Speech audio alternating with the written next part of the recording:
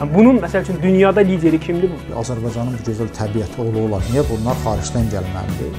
Və biz o apteklərə sifarişi hətta tramvaya verməyə 5 qəpiyimiz belə olmur əlimizdə qalmış. Dedi ki, oranı götür, təmir elə, 3 aydan sonra pul verərsən və bu otaq boyda bir yer idi.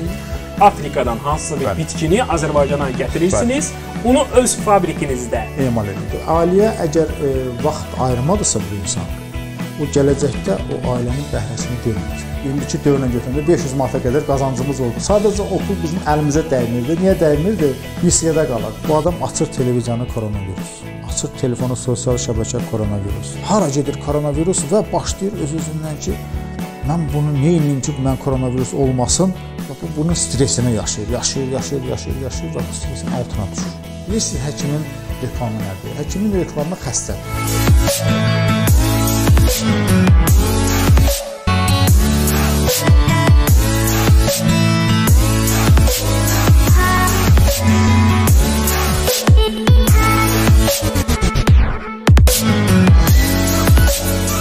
Dünyada iki dənə çox vacib məsələ var. Birincisi insanlar üçün sağlamlıq, hansı ki qiyməti yoxdur. Biznesmenlər üçün əlaqə, hansı ki qiyməti yoxdur. İnsan üçün sağlamlıqdan önəmli heç nə yoxdur. Biznesmen üçün əlaqələrdən, kontaktdan önəmli heç nə yoxdur. Biz bu günlərin bu iki prizmanı birləşdirəcək bir adamla adamla sizi görüşdürəcəyik. Bu adam Azərbaycanda fantastik işlər görmüş biznesmendir. Bu mükəmməl həkimdir, qeyri-adi həkimdir. Bu qeyri-adi biznesmendir və qeyri-adi şəxsiyyətdir. Çünki mən çoxdan e, dostumuzla tanışam. E, Füzuli müəllim Azərbaycanda tibbi başqa bir istiqamətə gətirmiş insandır və qurduğu bizneslərlə nəinki Azərbaycan səviyyəsində, dünya səviyyəsində böyük işlər görübdür. Mən çox istəyirəm ki, şərti bu koronavirus dövründə, şərti bu sağlamlığın aktual olduğu dövrdə səni mütləq Herbaflora şirkətinin təsisçisi ilə tanış edeyim. Beləliklə İlkin Manafov, biznes intervyular Herbaflora. Füzuli müəllim xoş gördük. Sağ olun. Necəsiniz? Nə var, nə yox? Çox xoşdur sizi görmək. Füzuli müəllim Azərbaycanda bir çox yeniliklər etmiş adamdır. Həm mükəmməl həkimdir, həm mükəmməl biznesmendir, həm də mükəmməl şəxsiyyətdir. Və mən sizi təxminən nə gizlədim? 4 aydır kəşf eləmişəm. Mən deməli Herbifloranın bir toplantısına dəvət olmuşdum. Orada mən sizin çıxışınıza baxdım və başa düşdüm ki, həqiqətən də tip sektoru o qədər dərin bir sahədir və Azərbaycanda mükəmməl həkimlər var. Təşəkkürlər. Biz çox istəyirik ki, bu gün sizi bir həkim kimi deyil, Azərbaycanlı biznesmen kimi öz tamaşaçılarımızla tanış edək. İnşallah. Buyurun. Biz Füzuli müəllim, sizinlə səmimi söhbətdən əvvəl istəyirik ki, sizin biznesinizin bir hissəsi ilə tanış olaq. Çünki özünüz də bilirsiniz ki, hal-hazırda koronavirus sağlamlığı ən vacib nöqtəyə gətirib. Bir dəqiqə fikrimiz, fikrimiz budur. Aydındır. Siz inşallah bizim klinikamıza gəlmisiniz. Bəli. Biz klinikamızda sizə klinikamızda tanış eləyərik və Herbaflora məhsullarının burada satış sərgisi var. İnşallah onu da göstərərik. Hələlik bu qədər. Okay. Herbaflora gəlsəydiniz lap yaxşı olardı. İnşallah gələn dəfə.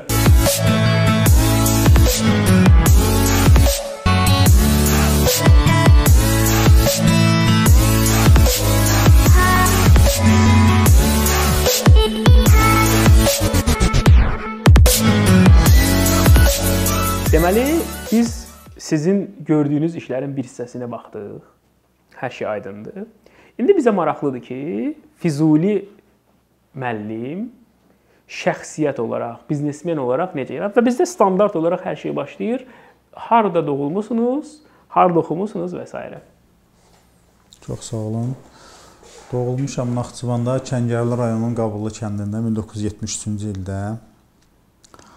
Tibb universitetini bitirmişəm, tibbi profilaktika fakültəsini və bitirən deyərdim ki, ilimdən 97-ci ildə bitirdim internatura qarışıq və 97-ci ildə biraz belə qeyri-rəsmi olaraq işlədik və sonra 98-ci ildən dostum Rəşad müəllimlə birlikdə Herbaflora firmasını təsis elədik və 22 ildir həmin firmanı çalışdırırıq. Təxminən bir 5-6 ildir də xəstələrlə də çalışıram e, hal-hazırda Herba Medical Center klinikasında baş həkimiyəm. Siz orta məktəbi Naxçıvanda oxumusunuz. Bəli. Valideynləriniz nə fənlə ilə məşğul idi? Valideynlərim atam baytar həkimidir, anam müəllimədir. Çox yaxşı. Hal-hazırda da Naxçıvanda yaşayırlar. Ay maşallah. Salam söyləyirik. Aleykümselam. Bəs e, siz 97-ci ildə tibb universitetini bitirirsiniz. Hı -hı. Profilaktikanı Hı -hı. və 98-ci ildən həkimliyi tullayıb biznesə keçirsiniz, ya paralel həkimliyiniz gedir. Yox, deməzdim, heç həkim işləmədim. Əslində qalanda ə, orada da biraz problemlər çıxdı. Məsələn, mən institutu bitirəndən sonra o vaxt belə deyək ki, müharibə gedirdi. Bəli. Ə, mən könüllü olaraq mən daxili qoşunlara ixtisasımı götürdüm. Amma çox maraqlıdır ki, mən düz 1 il işsiz qaldım. Hı -hı. Və çox həmin dövrdə çox maraqlıdır ki, insanları zorla hərbiyə əskər götürürlər, hərbi həkim götürürlər. Mən könüllü olaraq müraciət eləməyimə baxmayaraq 1 il işsiz qaldım və 1 ildən sonra Herbaflora firmasını açdım. Deməli siz 1 il e, daxili qoşunlar deyək də ora, Mhm. ora sənəd verdiniz ki, mən həkim olmaq istəyirəm. Hərbi həkim də yəqin ki. Bəli, bəli. Və o qəbul olunmadınız. Bəs bu işi Naxçıvanda axtardınız, Bakıda axtardınız? Yox, həkim zaten həkim idik biz. Yəni e, həkim idi. Yəni belə bir daha doğrusu istədik ki, biz xalqımıza xeyrimiz dəysin də. Mən məsələn hələ hətta tələbəlik vaxtı biz müharibənin o qızğın vaxtlarında biz e, bizim yaxınlığımızda Semoşko xəstəxanası idi o vaxtı. Biz bütün günü orada o yaralılara kömək eləyirdik, onlara yarasını sarıyırdı. İndi həkimin yanında həkimin köməkçisi idi, tələbə idik. Biz həkimin köməkçisi olaraq bütün günümüz yəni orada bizim xəstələrə kömək eləməkdən, xəstələrə qulluq edirdik. Yəni orada həm həmin vaxtlarda o Semaşkoda koridorlar belə hamısı xəstə idi. Yaralı idi, xəstə idi. Hətta tibb işçiləri çatışmırdı. Yəni tək yox, bütün Mən onda- tələbələrimizin hamısı kömək eləyirdik, biz də kömək eləyirdik. Mən onda Yevlaxda idim. Bəli. Yevlax da Qarabağ döyüşlərinin bir növ həmişə qapısı olubdu. Çünki ha- hava limanı Yevlaxda yerləşirdi. Yun fabriki Yevlaxda yerləşirdi. Bir çox, yəni o o dövrlər mənim də gözümün qabağındadır ki, Azərbaycanımızın necə ağırlı günləri var idi. Mən deməli siz hə, keçirsiniz Herbaflora şirkətini yaradırsınız. Bəli. Yəqin ki, adınızı qoyanda Herbalife-dan biraz ilhamlanmısınız, ya Yox, mən heç o vaxt sözün düzü həqiqi Herbalife firmasını heç tanımırdım. heç tanımırsınız. Heç tanımırdım. Deməli, Özü siz- mənə maraqlı gələn oldu ki, biz Herbaflora firmasının ə, təsis eləyəndə firma açmalıydıq. Yəni rəsmi olaraq nizamnamə yazmalıydıq və Ədliyyə Nazirliyinə getdik. Ədliyyə Nazirliyi dedi ki, get Səhiyyə Nazirliyinə məktub gətir. Və biz gəldik Səhiyyə Nazirliyinə məktub istəyəndə bizə çox belə m, belə deyərdim ki, aqressiv yanaşdılar.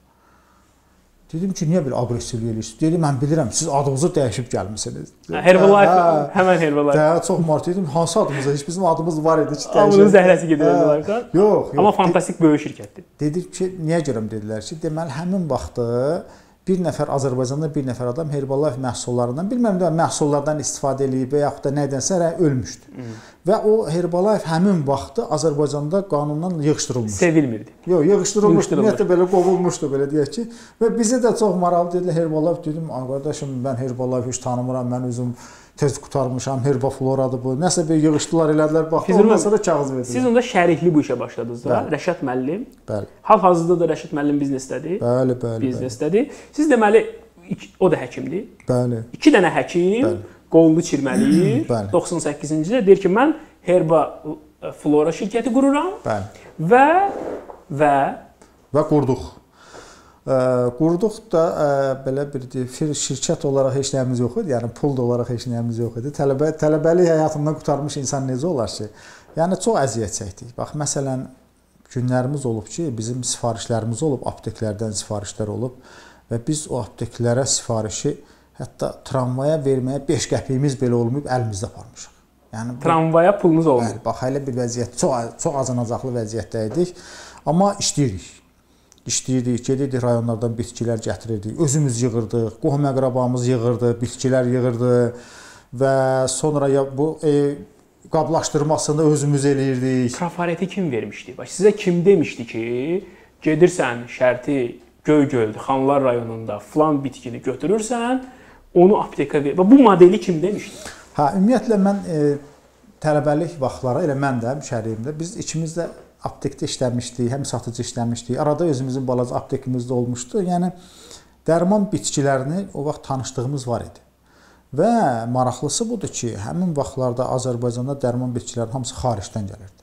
Məsələn, Hı -hı. Rusiyadan gəlirdi, Ukraynadan bəli, gəlirdi, bəli. yadımdadır, Polşadan gəlirdi, Bolqarıstandan gəlirdi. Mən də özümə belə e, belə biraz sıxışdıra bilmirdim ki, Azərbaycanın bu gözəl təbiəti ola ola niyə bunlar xaricdən gəlməlidir? Rəşadla təşkil məsləhətləşdik, dedik ki, bunu başlayaq özümüz istehsal eləyək və başladı. Və birinci işçiniz olmuyor da, ikiniz olmusunuz. Hə, ikimiz. Rəşad özü İsmaildən olduğundan İsmaili bilir, gözəl rayonda, təbii yaşıl oldu. İsmaildən getdik yığdıq bitkiləri gətirdik. Rəşad özü bir neçə dəfə getdi, gətirdi. Orda qohum əqrabaları yığdı, elədi. Biz pulumuz yox idi almağa, yığıb belə qohumlar zətlər özümüz gedirdik, yığırdıq, eləyirdik belə. Yavaş-yavaş, yavaş-yavaş indi şükür Allaha yaxşıdır. İndi. Əla. İndi biz o indikinə gəlməmişdən qabaq 1-2 dənə o nöqtələri tam başa düşək. Deməli siz başladınız apteklərə mal verməyə. Bəli. Tramvaya pul yoxdur. Bəli, heç nə. Apteklər də hələlik nissiyə götürür Bəli. yəqin ki, deyir get olanda verəcəm, yavaş-yavaş pul əlinizə dəyir. Bəli. Və sizin onda neçə yaşınız var? Onda bizim mən 73 mən ümumiyyətlə orta məktəbi qutaran kimi instituta girmişəm. 22-23 bu, bu aralar. 23 yaşında oğlan məsəl üçün nə qədər pul qazanırdınız ayda? Təzə başlayanda. Bəli. Yox, qazancımız olurdu. Deyərdim ki, o həmin hətta biz yeni başlayanda belə normal məsələn tutalım ki, indi indiki dövrlə götürəndə 500 manata qədər qazancımız oldu. Sadəcə o pul bizim əlimizə dəymirdi. Niyə dəymirdi? Nisiyədə qalırdı. Bəli, bəli. Hə, vitrin verirdiniz. Bizim hə, dildə vitrin verirdiniz. Biz o nisiyəni gözləmək məcburiyyətində idik. Çünki biz o nisiyə təklif eləməsəydik bizdən məhsul almırdılar. Çünki e, baxmayaraq ki, o dövrdə də yetərincə xaricdən məhsul çox gəlirdi. Ona qablaşdırma yox idi də yəqin ki. Sadəcə salafanlara bükürdünüz? Yox, qablaşdırma, elə qablaşdırma da salafana deyərdim ki, bizim salafana bükmə periodu e, müddətimiz oldu 3 ay. 3 aydan sonra yaxın dost var idi. O məsləhət gördü, bir mətbəə tapdıq, qablaşdırma sifarişi verdik. Elədiniz. Bəli, pokovka elədik. Az-az elədik. 7 adda məhsulumuz var idi. Yavaş-yavaş artırdıq. Artırdınız və e, Nə vaxt fabrik yaranma haqqında düşündünüz? Hə, onda bizim heç yerimiz də yox idi. Elə e, biraz Rəşadın evində, biraz bizim evdə belə-belə çalışırdıq. Bakıda eviniz var idi? Yox, heç ev də yox idi. E, sonra balaca bir yer tapdıq, e, yadımdadır. Get gəldim, deməli oranın yiyəsi ilə danışdım ki, e, Elman müəllimlə. Dedim, buranı neçə verirsiniz? O yerdə, yerdə tam təmirsiz, belə artıq artıq əşyalar yığılmış bir yer idi. Dedi ki, Oranı götür, təmir elə, 3 aydan sonra pul verərsən və bu otaq boyda bir yer idi. Hı. Hə, başladıq qolumuzu silmədik, oranı təmir elədik. Rəşadla mən başladıq orada işləməyə. Bir, birinci bir nəfər işçi götürdük, sonra yavaş-yavaş yavaş işçilərimizi artırdıq. Tam olaraq, yəni fabrik elə Fabrikdə yəqin birdən yaranmayıb. Yox, əlbəttə ki, birdən yaranmayıb. Hamısı addım addım addım. Sonra biz Tibb Universitetinə əməkdaşlıq elədik. Rəhmətli Cəmil Xəlilov var, Farmakokinetika kafedrasında dosent idi. Hə bizim Nəsiminin qaynatası. Mhm. Hə, e, deməli Cəmil müəllim bizə çox kömək elədi. Bu da mən bir dənə üzr istəyirəm. Deməli Nəsimi müəllim marketinq Eyrin ilk tələbələrindən olubdu. Bəli. Və mənim yadıma gəlir ki, biz özümüz də bilmədən bir nöqtəyə gedib girəcəyik. Deməli, mən bir gün Eyrin ilk dövrlərdə biz də çox cavanıq. Yəni zulm çəkirik Eyrdə. Nəsimi müəllim Eyrin sonudu mənə yaxınlaşdı ki, ilkin bəs bir şey bunu sizə gətirmişəm. Dedim bu nədir? Götürdü mənə bir dənə upakovka, paket verdi. Dedi ki, bu bizim şirkətin məhsullarıdır. Mən sizə danışıram, bilmirəm, 8 ilin söhbətini bəlkə də. Sizin deməli tanışdığınız çoxdan. 8 il minimum. Baxdım bu upakovkaya, dedim ki, bu nədir Nəsimi? Dedi ki, bu bizim şirkətimizin çaylarıdır. Hı -hı. Və mənim yadıma gəlir ki, mən o zaman düşündüm ki, bu şirkəti mən tapacağam. Bu şirkət gör necə biznes proses qurub ki, bunun işçisi öz məhsulunu o qədər sevir ki, aparır onu məcburən mənə verir ki, götür işlət. Bu çaylardan iç. Gör biz nə qədər. Bu bilirsiz, biz bu günlərin biznes haqqında danışırıq. Və sizin hekayəniz ümumiyyətlə İlkin Manafovun bloqunda olan bütün intervyu ediləcək insanlara mən belə deyək də tam cavab deyəm. Onların biznes yanaşmaları. Çünki mən bilirəm ki, onlar zulmla biznes qruplar və o sizin də tarixinizdə onu görünür zaten. Amma burada çox incə nöqtə var ki, bununla belə sizin o işçilərlə münasibətiniz göstərir ki, işçi ki şirkəti sevir, Deməli sahibkar öz şirkətini sevir, işçilərinə hörmət qoyur. Bu çox vacibdir də. Bunu necə yaratmısınız? Bax necə olub ki, sizin işçiniz şirkətinizi bəlkə də sizin qədər sevir? Mən heç vaxt işçiyə əslində qalanda işçi gözü ilə yanaşmamışam. Biz həmişə işçi ilə dost olmuşuq, yoldaş olmuşuq. Məsələn, bizim indi siz Herbaflora firmasına gəlsəz, orada bizim mətbəximiz var. Biz orada 100-dən çox işçi var. Ümumiyyətlə Herbaflora firmasında 300-dən çox işçi işçi var çalışır hal-hazırda. İndi firmanın özündə 100-dən çox işçi var. Onlar hamısı belə gəlir yemək növbəsinə durur. Yeməklərini götürür, gedir oturur öz yerində. Biz biz də onlarla bir gəlirik, dururuq yemək növbəsində, yeməyimizi götürürük, gəlib otururuq yerimizdə yemək onlarla bir. Yəni onlar nə yersə biz də onu yeyirik. Hal-hazırda yəni bugünkü gündə də elədir.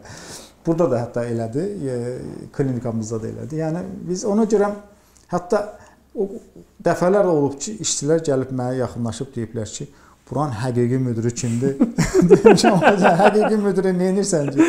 Ki nəsə sözüm var, nəyimsə var, nəsə çatdırıram ki, sən söz verən mənə deyən, yox deyib, inanmıram. Siz bizim müdirimiz ola bilməzsiniz. Çünki bizlə bir gəlib yemək yeyirsiniz. Yəni insanlarımızın psixologiyası o qədər dəyişikdir ki, hətta ona da belə inanmırlar. Olsun da. Birazdan Naxçıvanda olduğunuza görə bəlkə nəsə ola bilər, amma ümumiyyətlə həqiqətən də mən sizə deyim ki, çox fantastik bir e, biznes qurmusunuz. Azərbaycanda əqli üsullarla biznes quran adamlar çox azdır. Sizin biznesinizin kökündə intellektual yanaşma durur. Və mən yadıma gəlir sizin bilirəm ki, sizin çoxlu Tibb Universitetinin müəllimləri ilə əməkdaşlıqlarınız var. Hə, düz başa düşürəm. Bəli, bəli. Onlara siz hansısa bir patent almaqda və s. necə olur o işləriniz? Biz ümumiyyətlə Herbaflora firması ümumiyyətlə belə belə deyək ki, ağıllı insanlar üçün açıq bir qapıdır. Bax məsələn, birinci kreslo gördünüz. Gördünüzmü? Bax bəli. məsələn, onu bir Azərbaycanlı bir sizin bizim kimi bir insan hazırlayıb. Biz qapı açdıq ki, gəl qardaş, qoy məhsulu bura. Eyni zamanda onun biz reklamını da eləyirik. Məsələn, sifariş olsa kimsə istəsə adamla görüşdürürük ki, adam görüşsün, düzəltsin, versin sizə. Yəni təkan olaraq kömək eləyirik. Tibb universitetində də məsələn bizə dərs deyən müəllimlərimiz var, savadlı müəllimlərimiz, hansılar ki, yaxşı preparatları var. Biz onları istehsal eləyirik, satışından da faiz veririk adama. Adam da çox məmnundur. Adamlar belə deyək ki, məmnundurlar. Yəni ağıllı müəllimlər müəllimlər, da bir öz zehinlərini sata nə bilir. varsa ortalıqda nə hazırlaya bilibsə, gəldirsin. Yenə də biz hazırıq. Əgər həqiqətən xalq üçün dəyərlidirsə, yəni e, belə deyək ki, bir plasebo deyirlər də, plasebo. Bəli, Plasebo deyilsə, yal, yəni yalançı bir şey Bəli. deyilsə, biz onu e, istehsal edə bilərik. Bu arada plasebo ə, yalan kimi səslənir. Ancaq belə bir trend var. Son vaxtlar mən oxuyuram onu. Deyir ki, insan hansısa bir nəticə əldə etmək üçün onun beynində o öz plasebo qurmalıdır. Bir növ nəyisə bir olmayan həqiqətə inanmalıdır. O zaman bu həqiqət həyata keçir. Necə düşünürsünüz bu barədə? Prosta fikrinizi bilmək istəyirəm. Biz ümumiyyətlə o plasebo anlayışına biraz başqa cürə yanaşırıq. Məsələn, e, tutalım ki, hansısa bir kapsulumuz var bizim. Kapsul hazırlamışıq və o kapsulu məsələn özümüzdə içə bilərik, yaxın dosta veririk ki, məsələn 2 dənə kapsul tutaq ki, veririk. Biri ikisi də faydalıdır. Biri içi boş olur və yaxud da birinin içində sadəcə olaraq ziyansız bir şey olur. Tutaq ki, hansısa bir paraşüt Bəli. ziyansız. Birinin içərisində həmin preparat. Deyirik məsələn 15 gün 20 gün bunu içirsən, 15 gün 20 gün də bunu iç. Bəli. Gör hansı yaxşıdır. Ya və yaxud da 1 ay və yaxud da 2 ay. Yəni onlar e, e, ziyansız bir şeylərdir. İndi onu bəzən insanlar düşünər ki, biz aydın. təcrübə eləyirik. Yox, yəni ziyansız bir şeylər. İkisi də fayda verə bilər tutalım. Və yaxud da biri boş ola bilər. Kapsul boş olar, heç o bilməz. Amma hər ikisinə ümid verirsiniz də ki, Hə. bu sağaldacaq. Bəli, hər ikisini deyir ki, bu da yaxşıdır, bu da Bəli. yaxşıdır, bu yaxşı. Yəni ondan olur ki, tutaq ki, həmin preparatın biz e, gücünü bilirik, səviyyəsini bilirik, hansı e, müddətdə hansı təsir eləyir. Yəni o anlaşma, qarşılıqlı anlaşma əsasında belə bunları eləyə bilirik. Hətta məsələn bizim bir maz var, ağrımaz maz. Mən onu hazırlayanda çox əziyyət çəkdim. Yəni niyə onu hazırlamaq istədim? Çünki e, bizim apteklərdə bütün deyərdim ağrı kəsici mazların hamısı sintetik tərkibli, təbii tərkibli yoxdur. Hətta üzərinə təbii bir bitki şəkildə çəksələr də yenə təsir edici maddələr sintetik maddələrdir və o sintetik maddələrdə dizdə məsələn vurursa dizdən sorulu gəlir, mədə yarası eləyə bilər, bağırsaq yarası eləyə bilər. Bu insanları bəzən bu problemlər törədə bilər. Mən təbii ağrı kəsici hazırlamaq istədim və onu yoxlamaq lazımdır. Yəni bir neçə modellər hazırlamışam və bunu yoxlamaq lazımdır. Özümdə də ağrı yoxdur ki, özümdə yoxlayam. Və bu arada mənim bir dostum beli ağrıdı. Və gətirdim dedim ki, buna bir bax. Bu da baxdı bir 2 gün işi. Sonra bir ayrısını gətirdim ki, bəs buna da bir bax. Bunu da sənin üçün hazırlamışam. Buna da bax. Bir, bir 5-6-sını hazırladım. Bu da hər dəfə də mənə çox-çox təşəkkür edir. Allah səndən razı olsun. Sən mənə nə yaxşı yanaşdın, nə yaxşı elədin. Dedim ya bunlar hansı yaxşıdır, hansı necədir, hansı nətərdir. Elə və e, bu o hamısını deyir ki, məsələn 3-cü vurduğum belə oldu, 4-cü vurduğum belə oldu. Və bir günlərdə səhər-səhər yuxudan duranda özümün boynum yəni yastıqdan düşən deyirlər. Xalq arasında belə belə ağrı Ağrı Hər oldu, güclü. Hə, başladım sevinməyə. Evdə də dedilər ki, niyə sevinirsən? Boy deyirəm ki, mazımı yoxlamalıyam. Yaxşı oldu ki, ağrıdı. Yəni belə şeylər də olubdu. Və sonuçta ağrımazı hazırladıq. Əla. İndi bir dənə bir söz deyim. Siz hal-hazırda bu klinikanı sahibkar və baş həkimsiniz. Bəli. Düz başa düşürəm? Bəli. Siz axşam yatanda özünüzü nə hesab edirsiniz? Həkim, biznesmen, Hı -hı. Ya ümumiyyətlə, ümumiyyətlə siz özünüzü necə qiymətləndirirsiniz? Siz kimsiz? Yox, mən biznesmen mən deməzdim ki, biznesmen, biznesmenəm. Çünki ümumiyyətlə mən hər axşam yatmazdan, yəni bunu məni izləyənlərin hamısı bilir. Hər axşam yatmazdan ən azı bir 1 saat əvvəl Facebookdan mənə xəstələrim və yaxud da vətəndaşlar, oramda bu var, buramda bu var, ağrılarım var, nəyim var, mənə yazırlar. Mən də hər axşam bunları suallarını cavablandırıram. Yəni bu məndə bir vərdiş halı alıb. O, o qədər mən beynimə işləyib ki, mən özümü biznesmen hesab eləyə bilmərəm. yəni həkim olaraq düşünüb yatırıq Allahın üçün. Bəs e, partnyorunuz onda belə çıxır ki, partnyorunuz daha biznes ağırlıqlıdır. Çünki siz 2 dənə partnyorsunuz. Rəşad. Bəli. Rəşad müəllim də deyərdim, hə, o daha çox biznesə üstünlük verən insandır. Tam aydındır. Çətin deyil şərikli biznes aparmaq. 23 ildir şəriksiz. Bəli. 23 il. Hə. Azərbaycanda da belə bir stereotip var. Deyir ki, şəriklik çətin işdir. Əşi nə o az olsun özümünki olsun. Eşitmisiniz yəqin ki. Mən ümumiyyətlə o insanları başa düşmürəm, şərikliyə elə yanaşan və e, şəriklikdə də problemləri olan insanlarda psixoloji problemlər var. Hə, mən onu ilə yanaşarım. Çünki şərikliyin məsələn pis nəyi ola bilər ki? Şərihlik o adam üçün pis olar ki, o adamda mən, mən hissi çoxdur. Mən, mən, mən hissi kimdə mənlik çox-çox çoxalır. O insan şərik ola bilməz. Amma şərihlik məsələn oturursan, məsləhətləşirsən, bunu belə eləyək, bunu belə eləyək, bunu belə eləyək. Mən məsələn gedirəm xaricə, deyirəm ki, mən xaricdəyəm, firma sənin üstündədir. O gedə bilir xaricə istirahətə, mən baxıram. Yəni burada pis mən bir heç nə bir görmürəm ki, deyəm ki, bu pisdir və buna görə də biz ayrılmalıyıq. 23 ildir şərik, yenə bundan da sonra deyiş bizim bu barədə niyyətimiz yoxdur. Halbuki biz indi ayrılsaq da, yəni bizim yetərincə maddi vəsaitimiz də var, işimiz də var, gücümüz də var, biznesimiz də bölə bilərik. Yəni heç bir problem olmaz. Amma onu da belə olsa biz eləmirik. Niyə eləməliyik? Tam başa düşdüm. Deməli, e, mən bir şey diqqət eləmişəm. Allah özünüzə qismət eləsin. Siz kifayət qədər ciddi biznes qurmusunuz və heç kimə sir deyilsiniz, sizin maddi vəziyyətiniz yaxşıdır. Amma mən diqqət eləmişəm ki, biz bir dəfə sizinlə bir tədbirdə idik. Sizlə biz yan-yana oturmuşduq və mən özümdən asılı olmayaraq sizin qolunuza baxdım və gördüm ki, qolunuzdakı saat sizin iqtisadi vəziyyətinizə adekvat deyil. Belə deyək də, siz bu günləri özünüzə deyək ki, filan nöqtədən saat ala bilərsiniz. Ancaq mən baxdım ki, sizin saatınız o markadan deyil. Markanın adını da çəkmək istəmirəm. Hmm.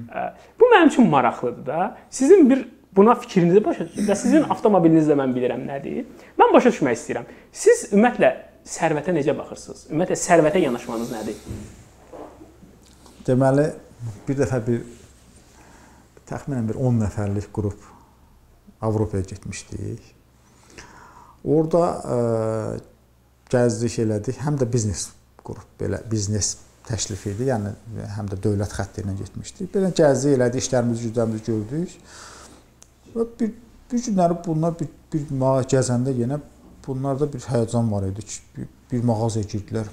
Onu alırlar, bunu alırlar, onu alırlar, bunu alırlar. Demək bu niyə alırsınız? Bunda nədir? bəs bu köynək Bakıda nə bilim 200 dollardır, burada 80 dollardır. Nə bilim şalvar Bakıda 200 dollar, 300 dollardır, burada 30 dollardır. Nə bilim belə alırlar. Deyirlər sən də al. Dedim ki, mən Allah mən heç bilmirəm o marka nədir və bu məsələn mən düşünürəm ki, siz o köynəyə 80 dollar verirsiniz, çox puldur. Yəni köynək görmüşük ki, onlar 10 manat, 15 manat uzaqda məsələn. Bunlar təəccüblənirlər ki, sən heç belə şeylər edin. Mən ümumiyyətlə markalara çox elə diqqət edən insan deyiləm. Sadə, yəni hamı kimi, hamı necə geyinirsə mən də elə. Sadə də heç vaxt baxmamışam. Maşına da heç vaxt baxmamışam. Düzdür, maşınım gündəlik istifadə etdiyim maşın adi maşındır. Adi maşındır. İndi qonaq üçün bir yaxşı maşınım da var. Qonaqlar üçün ki, o ancaq qonağımız gələndə, firmanın qonağı gələndə, indi olur da məsələn Avropadan zətdən görürsüz dünyanın hər tərəfindən qonaqlarımız olur. Onda onlarla belə harasa çıxırıq eləyirik, görüşürük. Onda onu sürürəm. Deməli, Tibb Universitetinin ildə çoxlu, çoxlu, çoxlu bitirən məzunlar var.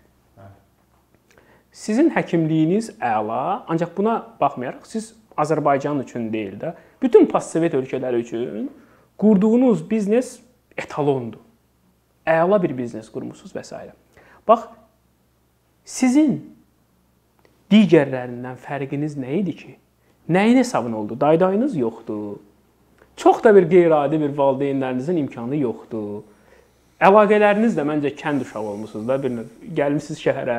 Bəs nə baş verdi? İsmayıllı partnyorla Naxçıvanlı partnyor birləşir və postsovet ölkələrinin ən proqressiv şirkətlərindən birini qurur.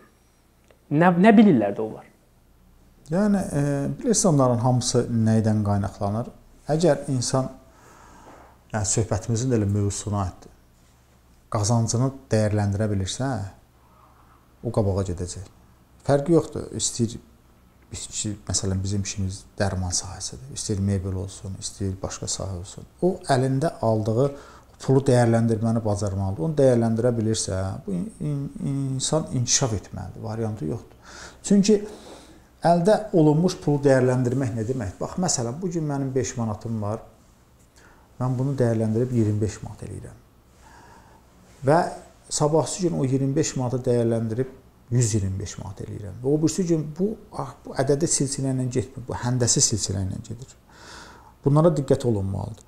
Yox, əgər mən bu günləri 125 manat qazandımsa və bunun e, 25 manatını işdə saxlayım, 100-ü təmiz gəlirdi, mən bu 100 manatı xərcləyim. Onu o düşüncə ilə insan yanaşdısa, o biznes mütləq çökməlidir. Yəni biz məsələn Azərbaycanın bütün dövrlərini keçmiş firmayıq. Yəni Elə. bütün dövrlərini keçmişik. Yəni Azərbaycanın çox çətin dövrləri olub.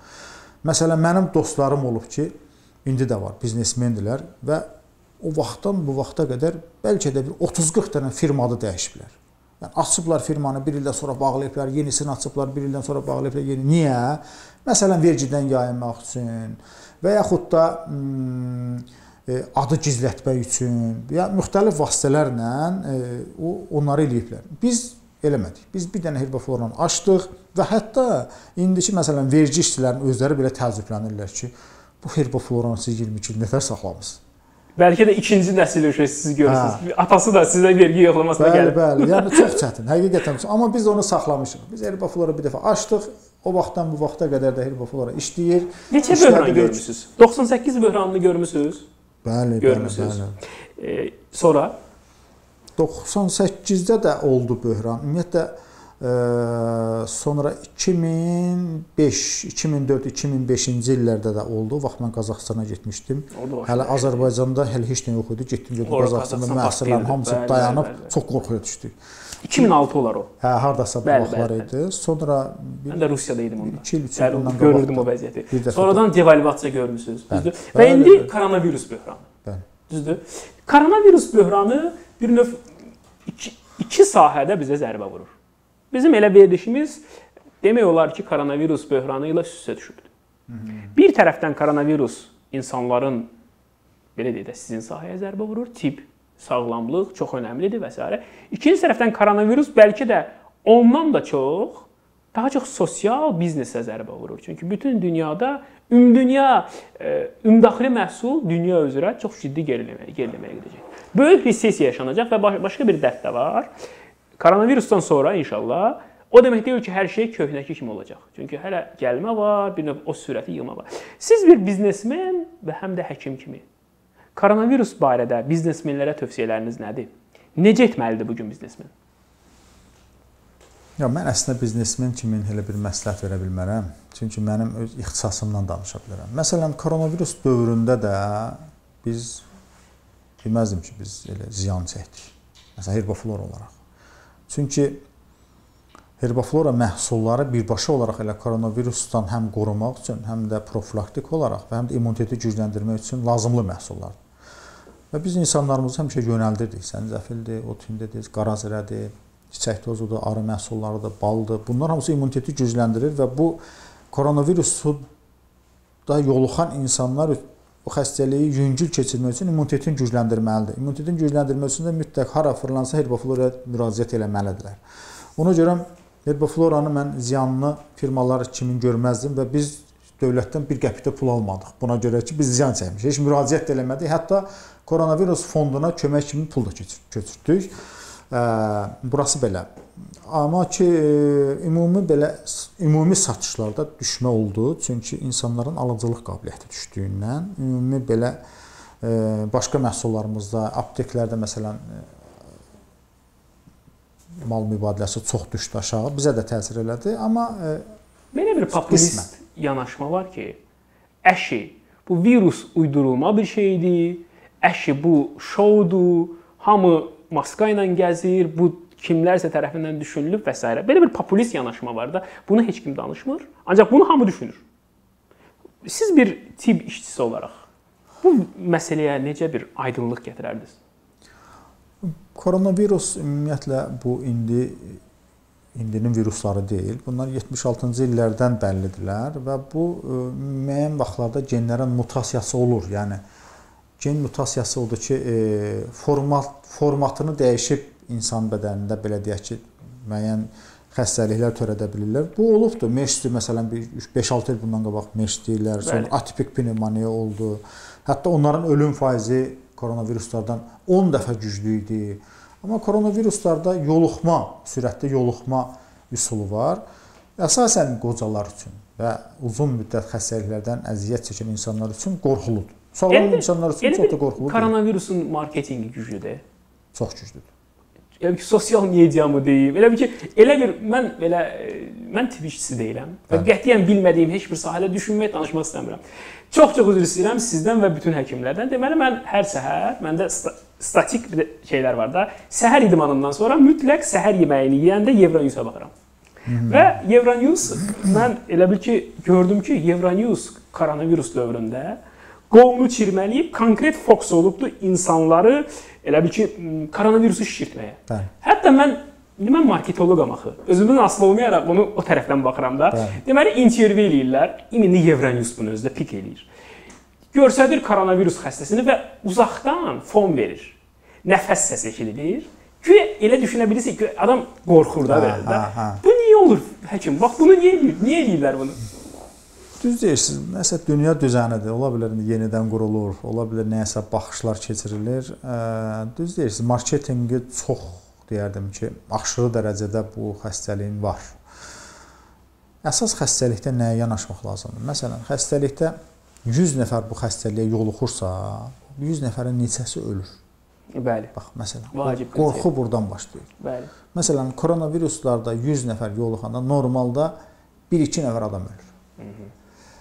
Müalicə olunanlardan o ölür. Müalicə olunmayanlardan da 2-si 3 ölür. Yəni bu xəstəlik ya belə ümumiyyətlə belə tamam belə sərbəst buraxılsa da lap 3 dənə sözü 100 insandan 3 ölə bilərdi müalicə olunmasa da belə. Marketinqi deyərdim ki, çox güclü oldu, amma indi 3 insan da deməzdim ki, azdır. 100% Bax məsələn, 100 adamın 3-dür. 1000 adam 30. 30. 10 min adam 300-dür. 100 min adam 3000-dir. Çox razıyam. Və 10 milyon, 1 milyon adam 3000-dir. Belə çıxır ki, Azərbaycan e, 30 min insan ölməli idi müalicə olunmasaydı. Yəni əgər 10 milyon Azərbaycan insanını götürəndə müalicə olunmayanda 30 min insanımız ölməli idi bu xəstəliklə. Ümumiyyətlə də belə yanaşanda Yəni ona görə də e, profilaktik işlər görülməlidir. Mən e, uşaq vaxtı şahmat oynamışam. Və e, şahmatla riyaziyyəti həmişə oxşadırlar. Burada biraz mən sizdən razıyam. Profilaktik itlək görməlidir və sağ olsun ki, hə, hə, hə, məncə də görülür. Bəli. Burada bir dənə incə nöqtə var. O e, bu sözə posu toxunub koronavirus mövzusunu xahiş edirəm ki, bitirək. Bir dənə elə bir ki, riyazi nöqtə var. Çox yaxşı olar ki, bizim riyaziyyatçı alimlərimiz özümüzü riyaziyyatçılara tuturuq da bir düstur çıxartsınlar. Hətta kaş ki elə bir elmlər namizədlik dissertasiyası olsun ki, ölkədə koronavirusdan qorunmağa dəyən zərər nədir? Ümumiyyətlə insanların psixo o bir reqressiya tutulmalıdır. Hı -hı. Bir adamın şərti dünyasını dəyişməsi neçə insanın psixologiyasının pozulmasına bərabərdir. Neçə Bəli. biznesmenin özünü öldürülməsinə bərabərdir. Biz onu o düstur çıxsa, biz mən çox istəyirəm ki, elə bir dissertasiya işləri çıxsın. O riyazi modelləşmə çıxsın ki, ümumiyyətlə koronavirusun dünya iqtisadiyyatına, insan psixologiyasına təsiri nədir görəsən? Bəlkə də qorxulu şeylər çıxar. O da var. Çünki bir şeydən insanlar çox danışanda şuuraltı olaraq insan psixologiyasına təsir eləyir və eləyib də artıq bizim çox insanlarımıza təsir eləyib. Artıq insanlarımızda bugünkü gündə əsəb xəstəlikləri çoxalıb. Panik atak xəstəliyi, ümidsizlik formalaşır. Çox çoxalıb. Panik atak əlamətləri indiki dövrdə o qədər çoxalıb ki, mənə gələn deyərdim ki, hər 3 gəncdən biri qorxulardı. Hətta ə, e, insanlar ə, e, yüksək dozalarda belə psixotrop dərmanlar qəbul etməyə başlayıblar. Yəni ona görə bu Bunların da əsas qorxusu birisi ilə əlaqədardır. Bax, məsələn, insan oturub evdə karantindir, evində oturub. Bu adam açır televiziyanı koronavirus, açır telefonu sosial şəbəkə koronavirus, açır o xəbər koronavirus, Qonşusu bu xəbər koronavirus. Gülbədam xala deyir ki, koronavirus. Hə, hara gedir koronavirus və başlayır öz-özündən ki, mən bunu nə edeyim ki, mən koronavirus olmasın və bu bunun stresinə yaşayır, yaşayır, yaşayır, yaşayır, yaşayır və bu stresin altına düşür. Yəni e, bax bu bu hallar necə çox artıq. Riyaziyyatçı dostlarımızdan xahiş edirik ki, o üstünü qursunlar. Hə, bax məsələn müharibə 41-45-də müharibədən çox insan müharibə qutarandan sonra psixoloji problemlərdən ölməyə başladı. Çox düzdür. O qədər stresslər keçmişdi. O stressin ağırlığı Afqan döyüşlərində sonra bəli. Afqan döyüşləri belə o çox kritik. Məsəl üçün Sovet İttifaqının o pik nöqtələrində, Əfqanistan döyüşlərində Sovet İttifaqının Əfqanistanda itirdiyindən çox, bəli. Əfqanistandan qayıdanlardan itirdiyi çox oldu. Bəli, yəni, bəli. Bu amma biz bir şeyə əminik ki, heç bir xəstəlik insanlığın qarşısında qalib gələ bilməz. Bəli. İnsan çox güclüdür. Qurban olduğumun belə deyək də zəkası ilə, hikməti ilə biz bütün xəstəliklərə qalib gələ bilərik. Yəni koronavirusdan o qədər qorxmağına da dəyməz axı. Yəni burada e, cavansansa, normal immunitetin varsa, olsun o adam qrip kimi olacaq, keçəcək. Əsas qorxu nə? Evində qoca varsa, qocanı qorumalısan. Qoca üçün biraz ağır ola bilər, xroniki xəstəliyi varsa ağır ola bilər. Yəni bu qədər qorxmağına dəyməz. Sadəcə olaraq insanlar çox məlumat eşitdiyində məlumatın altında qalır. Euronews ciddi işlədi burada. Belə Hamı o televiziyalar ciddi. E, siz öz bioqrafiyanızı danışdınız. Mən bir şey başa düşmək istəyirəm. Əlbəttə ki, adam nəsə eləyəndə səhvlər eləyir. O adam səhv eləyir ki, çox addımlar atır. Bizim bizə danışa biləcəyiniz ən böyük biznes səhviniz nə olub? Bax, bunu eləmişəm, siz eləməyin. Mən onlara səhv deməzdim. Olub məsələn işlər görmüşük ki, orada ziyan da olubdu. Biznesmen kimi ziyanımız olan işlərimiz olubdu. Mən onlara səhv deməzdim. Yəni onlar da e, olmalıdır. O səhvlər olmasa, insan o səhvləri eləyə-eləyə o səhvlərin ortasından düzü tapır. E, yəni bir işdə ziyan eləyə bilərsiniz, bir işdə. Mən məsələn ümumiyyətlə heç vaxt insan sağlamlığına ziyan verən işlər görməmişəm. Yəni heç vaxt görməmişəm. Gör, mən məsələn ola bilər dostlar, tanışlar da təklif eləyərlərsə, məsələn bu işə ortaq olaq. Baxmışam, görmüşəm orada insan sağlamlığı üçün problem varsa mən ona getmərəm. Haram olan işlərin ümumiyyətlə getməmişəm. Hətta e, bir neçə dostlarımı haram olan işlərdən çəkindirmişəm ki, bax məsələn, çox sağ olun. Bu alkoqol iş biznesinə niyə qoşulmusan? Heç kredit götürmüsüz? Heç vaxt. Heç vaxt götürməmişəm. Heç vaxt götürməmişəm. Kredit götürən biznesmenlərə nəsə sözünüz var? Yəni mən e, krediti ona görə götürməmişəm ki, kredit kredit götürməkdə bir balacana faiz məsələsi var orada. Və o faiz də e, bizdə bizim dinimizdə bəyənilməyən bir haldır. Amma Bəzi məsələn dostlar var, lizinqlə işləyir, tutalım. Mən o lizinqdə deməzdim faiz var, onu götür. Biz lizinqdə götürməmişik, faiz də götürməmişik. Mən ümumiyyətlə əlimdə ümumiyyətlə həm də ona görə yox, qorxu haram olmağından da başqa ümumiyyətlə məsələn tutalım ki, mən lap sizdən böyük 5 manat aldım. Mən onu biznesə yönəltdim. Heç sabah siz məndən 5 manatın əvəzinə 6 manat yox, 5 manatınızı belə istəsəz də belə onun bir mən qorxusunda olmuşam ki, həmişə sabah bu işdə ziyan elədim. Məsələn, bu işi istehsal üçün aldım sizdən 5 manatı, ziyan elədim, sabah sizin 5 manatınızı qaytarmalıyıq. Mən onu qaytara bilmədim. Nə olsun, sizdən aldım, dövlətdən aldım. Qaytara bilmədim, nə olacaq? Heç lap belə faiz məsələsini qoyuram bir tərəfə. Onun həmişə o o işdə mən də şəriyim də, yəni Rəşad da ikimiz də o işdən çox qorxmuşuq. Ona görə heç vaxt borc da almamışıq. Ümumiyyətlə bir adamdan borc almaq, yəni dövlətdən kredit, banklardan kredit, onlara eləməmişik ki, sabah birdən ziyan eləyərik. Biz bunun ziyanın altından necə çıxaq? Ən dadlı yemək öz yağında bişən yeməkdir. Bəli. Kredit də başqa yağdır. Yəqin ki, onun mən sizə bir söz deyim. Mən mən bilirəm ki, sizin dini tərəfləriniz hansı istiqamətdədir. Mən boynuma alıram da. Mən e, bu qurban olduğuma inansam da aktiv din fəaliyyəti ilə məşğul deyiləm. Ancaq mən bir şeydən əminəm ki, müsəlman dini mükəmməl biznes kitabıdır.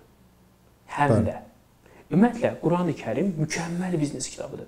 Və orada yazılanlar birə-bir başa düşülsə, tətbiq edilsə, o biznesin çökmə ehtimalı mənim gözümdə yox kimi bir şeydir. Bəlkə də mən səhv edirəm, bu mənim subyektiv fikrimdir. Razıyam. Ümumiyyətlə müsəlman dinində məsələn biznesdə tutaq ki, məsələn dini tərəfdən yanaşaq. Bizim işimiz var, sizin pulunuz var. Siz pulunuzla bizim işimizə pul qoymaq üçün bizə şərik ola bilərsiniz. Və anlaşma əsasında ola bilər siz 3 il şərik ola bilərsiniz, 5 il şərik ola bilərsiniz və yaxud da Məsələn, bu günlərə tutalım ki, bu işə 100 min qoydunuz, deyirsiniz ki, 10 ildən sonra 100 min nə qədər oldusa mən o pul. Anlaşma əsasında o orada problem yoxdur.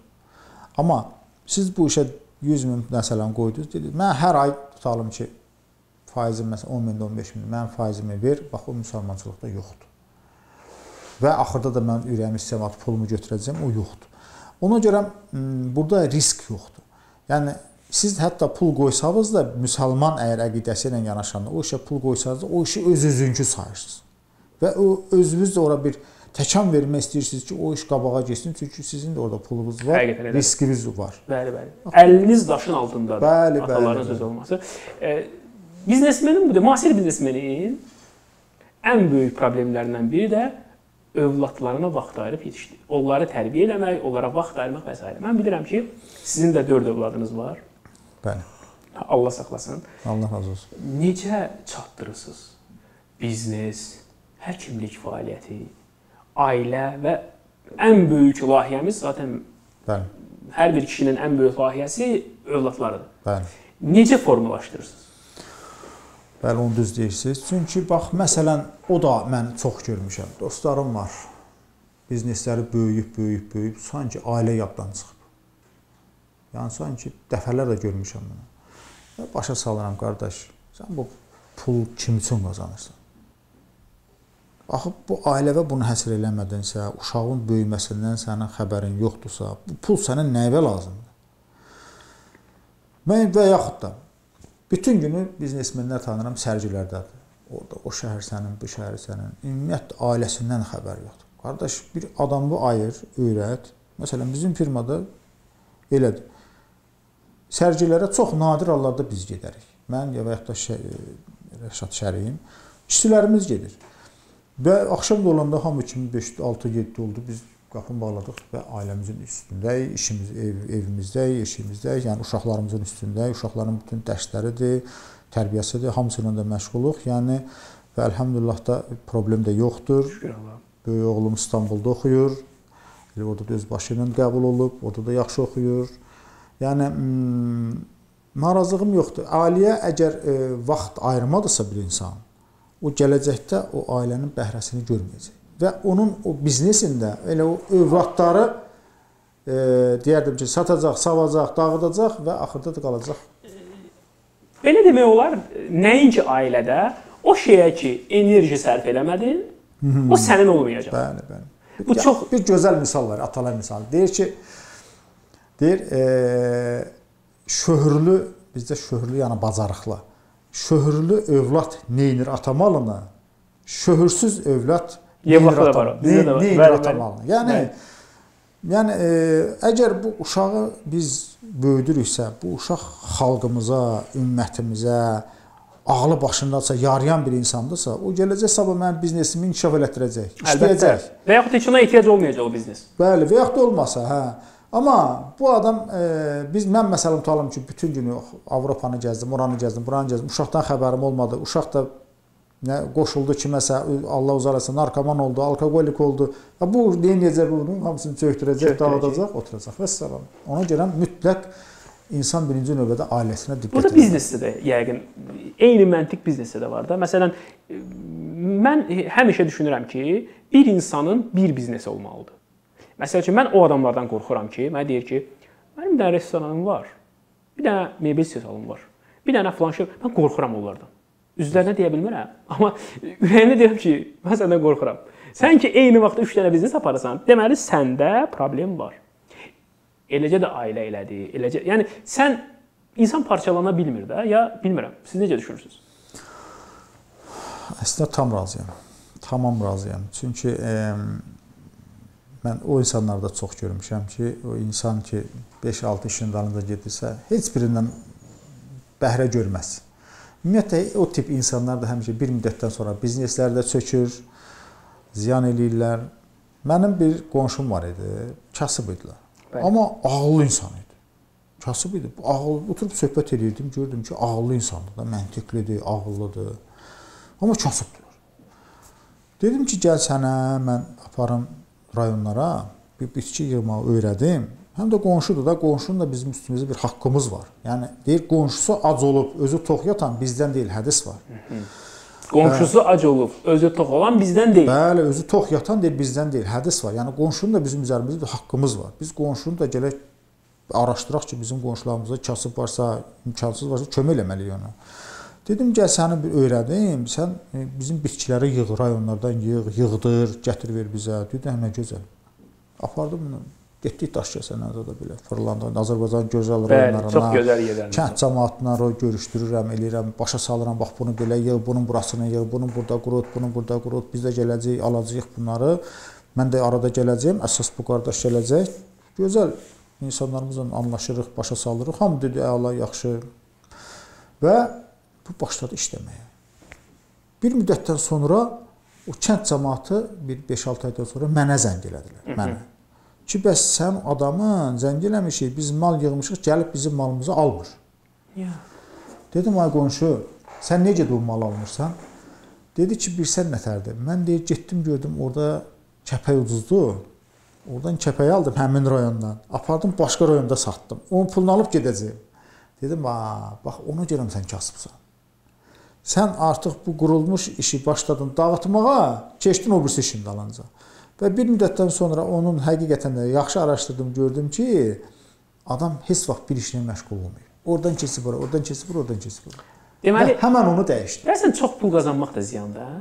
Qısa müddətdə çox pul qazanmaq ziyandır. Mən nə nə qısa müddət onu da deyə bilmərəm, halal pul olsun. Yəni nə qazanırsansa qazan, halallıq yoxdursa, ə, o iş iş deyil. Biz sizin ən səhv sualınızı bir, e, soruşduq. Siz də dediniz ki, biznesdə səhv olmur, öyrənmək olur. Bəli. Düz başa düşdüm Bəli, cavabınızı. Bəs ən doğru qərarınız? Amma bunu elədim. Bax, bu qədər üstünlüyüm oldu. Yaxşı ki, bunu eləmişəm. Yəni məsələn elə doğru qərarım herboflora açmaq ə, yaxşı ki açmışıq. Yəni öz- özümə görə yox. Özümə görə mən deməzdim ki, biz bunu açdıq. Ən azından məsələn bir 300 nəfər adam az Bakı şəhərində çörək yeyir. Bir minlərlə insan bizim Kəndlərdə, regionlarımızda bəli bu bitkiləri yığır, əkir, toplayır, əkənlərimiz var. Çöllərdən, meşələrdən yığanlarımız var. 100 minlərlə insanlar sizdən şəfqət alır. Bəli, bəli. O məhsullardan istifadə eləyir. Bizim Bəli. evdə də bu arada ancaq ondan içirik. Sizin çaylar içirik.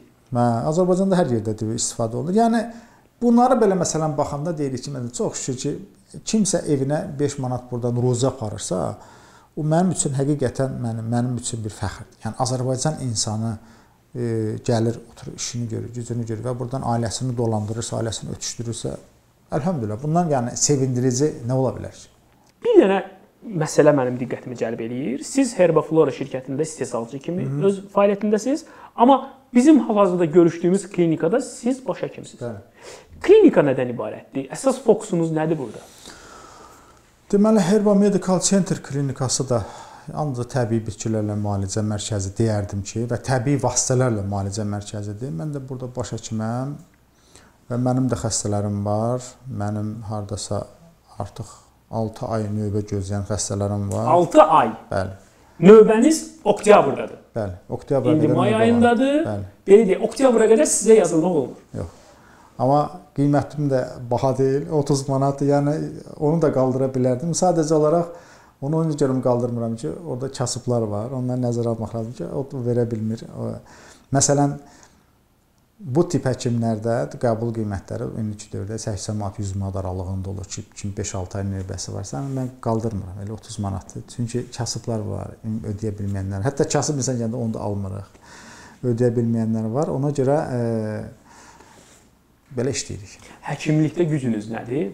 Yəqin ki, dərmansız müalicənin üzərində çox mükəmməl işlər görürsünüz. Bəli, mən e, insanlar dərman bitkiləri ilə müalicəni çox sevir haqq tabiət eləməlidir. Niyə? Üstünlükləri də odur ki, əks təsiri yoxdur, ziyanlı təsiri yoxdur. Bəzən məsələn insanlar düşünür ki, dərman bitkilərindən effekt gec alınır, əksinə düzgün təyin olunur, daha da tez alınır. Xalq təbabətində daha tez reaksiya olur. Bəli, blokatorlar deyil. Məsələn, olub ki, bizim dəfələrlə olub ki, dərmanlarla müalicədə effekt almayan gəlib burada da effekt alır. Yəni onlar bilirsiniz həkimin reklamı nədir? Həkimin reklamı xəstədir. Əgər həkim bir xəstəni müalicə elədirsə, xəstə gedəcək 5-ini gətirəcək. 5-ini müalicə elədirsə 25-ini gətirəcək. Belə belə belə belə artıq biz mən məsələn məndə bu dəqiqə 3000-ə qədər insan gözləyir növbədə. Amma nos mən təkim çatdıra bilmirəm. Ona görə e, bizim kitablarımız var. Məsələn, təbibim yanımda kitabım var.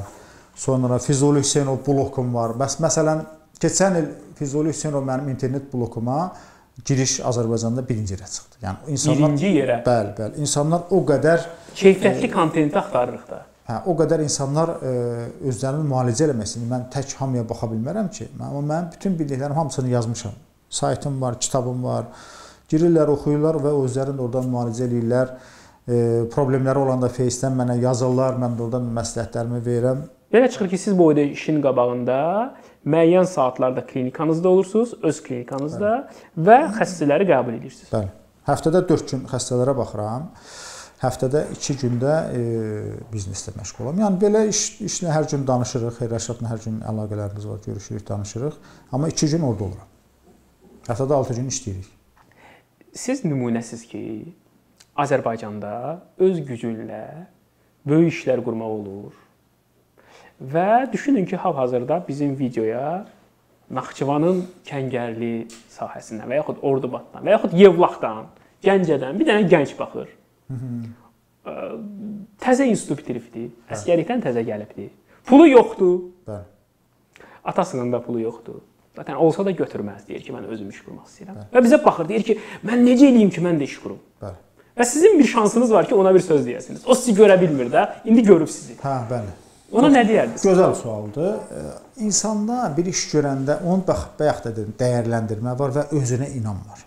Əgər özünə inam varsa ki, bu iş mütləq alınacaq, inamla o işi addım üstünə gedirsə, o iş deyərdim ki, 99% hallarda alınır.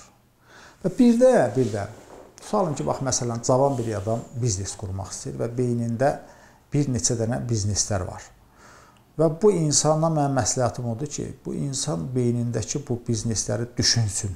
Düşünsün, düşünsün, düşünsün, düşünsün. Bir neçə dəfə düşünsün. Bax, məsələn, mənim o vaxtı institut qutarandan sonra beynimdə bir 9 dənə iş tutmuşdu. Yəni o ki, mən daxili qoşunlara müraciət etdim, məni işə götürmədilər. Yəni götürmüşlər, ha, iş vermirdilər. Bir il mən gözləmək məcburiyyətində qalanda beynimdə iş qurdum, qurdum, qurdum ki, bunu eləyim, bunu eləyim, bunu eləyim, bunu eləyim və Bu işə, bu işə, bu dərman bitkilər istehsalına artıq bir əminliyim gəldi. Elə bir ki, bunu Allah Taala'dan bir, bir yəminlik gəlir ki, məsələn, bu işə yönəndə alınacaq hə. Və Hamısını atdım, başladım bu işlə.